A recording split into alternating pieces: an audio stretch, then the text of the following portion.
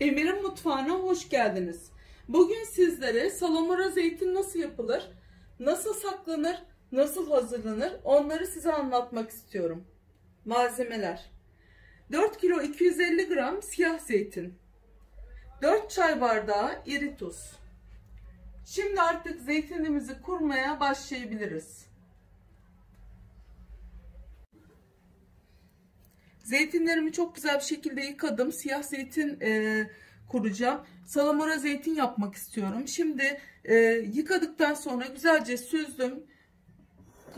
Kavanozumuza e, şimdi zeytinlerimizi kurmaya başlıyorum. Bismillahirrahmanirrahim diyerek başlıyorum artık. İnşallah çok güzel zeytinlerimiz olacak. E, şimdi biraz zeytin koyup daha sonra tuzunu ilave edeceğim. Bu tuz miktarı bunun için yeterli damak tadınıza göre e, tuz miktarını da kendiniz ayarlayabilirsiniz. Şimdi biraz tuz ilave edip devam edeceğim.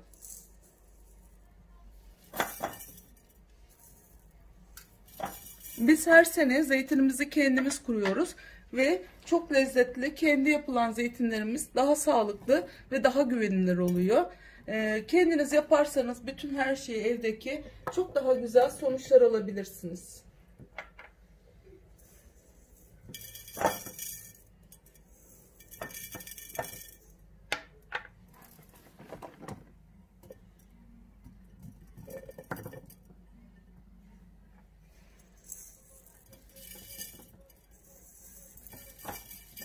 Evet görüyorsunuz zeytinimizi kurmaya devam ediyorum. Zeytinlerimiz çok kaliteli. Özellikle e, bu şekilde seçtim ve aldık. Görüyorsunuz harika zeytinler.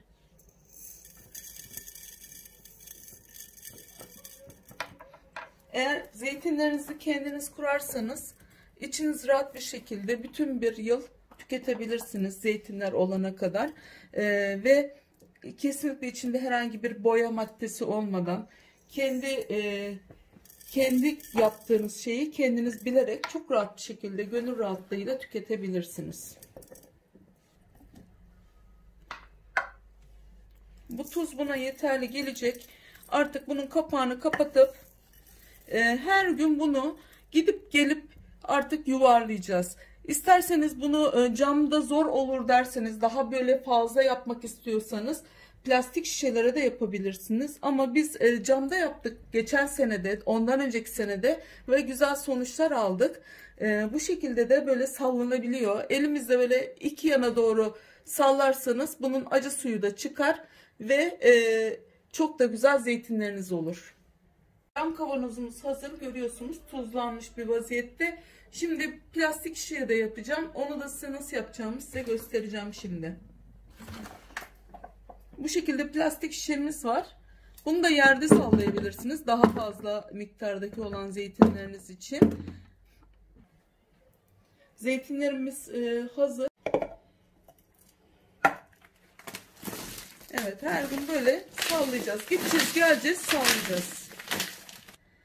Ee, en sonunda böyle acı suyu çıktıktan sonra zeytininizin e, tatlanmasına bağlı. Zeytin tatlandığı zaman artık bir işlem daha var. Bizi takip ederseniz hepsini göstereceğim size.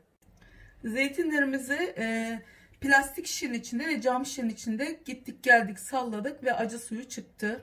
Zeytinlerimiz olgunlaştı. Zeytinlerimiz olgunlaştıktan sonra içinden çıkardık plastiğin e, acı suyunu ayırdık ve zeytinlerimizi ayrı bir şekilde kaplara koyup güzelce yıkadık tekrardan.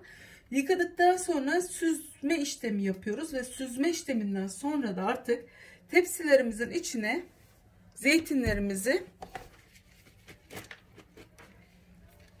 döküp kurutma kurutma işlemine geçiyoruz. Görüyorsunuz zeytinlerimiz güzel bir şekilde olmuşlar. Ee, ve zeytinlerimizi artık tepsimize iyice yayıp kurutacağız. Bunun amacı zeytinlerimizin daha güzel şekilleri de böyle buruklaşacak. Çok güzel olacak böyle üstü. Daha sonra bir işlemimiz var. O işlemi de size göstereceğim. Sırayla bütün işlemlerini göstermiş olacağım zeytin yapmanın.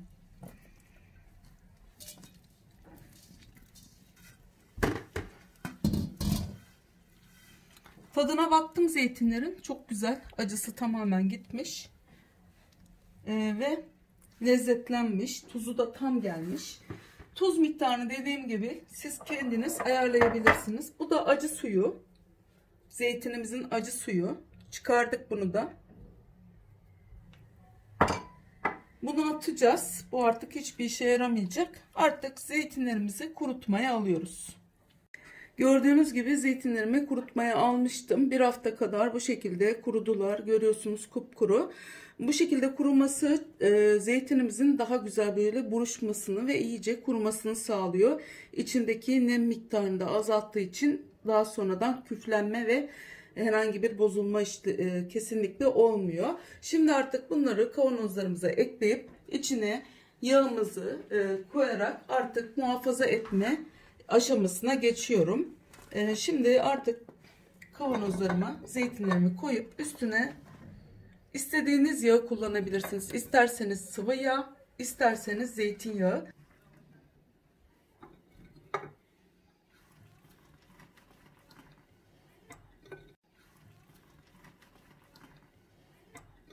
Dikkat etmeniz gereken püf noktaları da e, kesinlikle sıcak yere koymayın. Serin ve güneş almayan bir yere koyarsanız zeytininizi bir kış boyunca rahatlıkla zeytinler olana kadar tüketebilirsiniz. Şimdi üstüne e, zeytinyağını ilave edip biraz çalkalayacağım. İçine zeytinyağını ilave ediyorum. Zeytinyağı e, onu ona daha güzel bir lezzet verecek ve sağlam bir şekilde saklanmasını sağlayacak. Bu kadar zeytinyağı yeterli. Buna hemen hemen bir çay bardağı kadar zeytinyağı ilave ederseniz yeterli olacak. Artık kapağını kapatıp şimdi e, çalkalayacağım.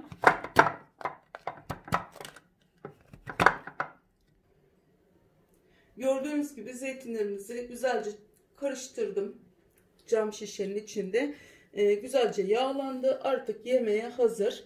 E, bunu artık bir yıl boyunca zeytinler olana kadar tüketeceğiz. E, dikkat etmeniz gereken ışık almayan serin bir yere koyup bunu muhafaza etmek. Başka hiçbir şeye gerek yok. Bu şekilde zeytinlerinizi rahatlıkla, gönül rahatlığıyla yiyebilirsiniz. Zeytinlerimiz çok güzel bir şekilde oldu.